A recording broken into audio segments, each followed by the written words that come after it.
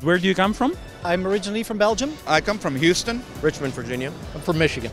Kentucky. We're from New York, New York. Denver, Colorado. Frankfurt, Germany. Oh, I came from California. California. Boston. Pittsburgh, Pennsylvania. Taiwan. Bethlehem, Pennsylvania.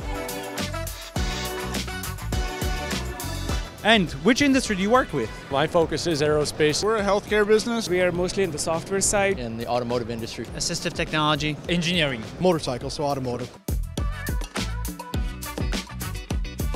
One word to describe Rapid TCT. Exciting. It's just awesome. Incredible. Community. Worthwhile. Fantastic. Mind blowing. Uh, innovation.